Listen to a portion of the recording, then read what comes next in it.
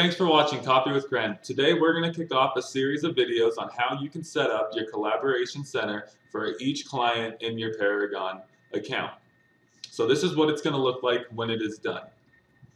When you first start, you'll be in Paragon. You'll go up to the Preferences icon, and you'll go over here to the third column, and the second item there, it says Collab Center Preferences Wizard. You'll click on that, and then this will give you um, eight little pages of preferences to first set up your Collab Center. This is the first step in getting it set up. Tune in next week and we will go over the next step for your Collab Center.